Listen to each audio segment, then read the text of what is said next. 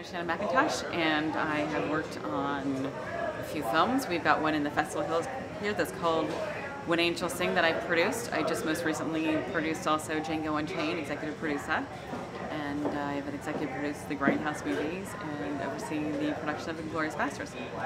Well, I mean, I think it's great. It's like Jill Simpson, who's the head of your film commission, is fantastic. I've been talking to her for six years and trying to get a production to go there, and she really has been motivating to get the crew base up and keep the incentives there and attracting movies to come in there. And soon, one day, I'm going to have a movie there, and it could be even sooner, like within a year. So, well, for me, Oklahoma is where I was born, and it's where part of my family lives right now, and I know a community of people who would be there to rally and support me without even pay them.